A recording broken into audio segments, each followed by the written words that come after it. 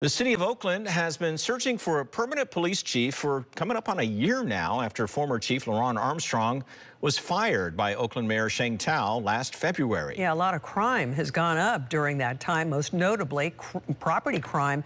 But as our 4's Dan Kerman reports for us tonight, most of these crimes have been trending upwards for years now. Some have decided to place the blame for Oakland's crime problems directly at the door of Mayor Sheng Thao, who at this point has been in office just over a year.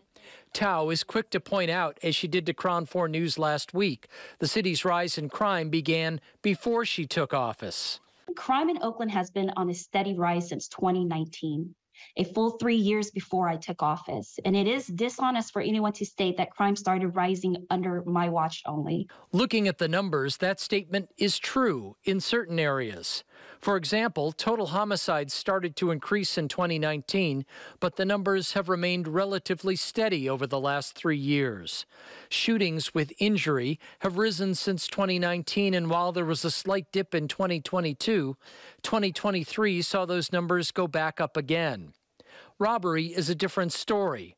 While it's gone slightly up and down over the last five years, the 38% increase between 2022 and 2023 was dramatic.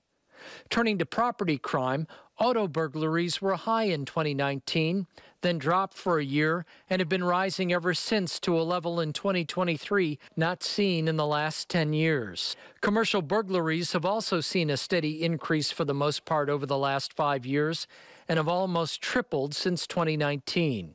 The mayor says new neighborhood strategies launched in September are already seeing success. We are seeing, like in Chinatown, Uptown, and Jack London Square areas, for example, we have experienced 42% decrease in robberies, 32% decrease in auto burglaries and bipping, 38% decrease in theft and 13% decrease in commercial burglaries.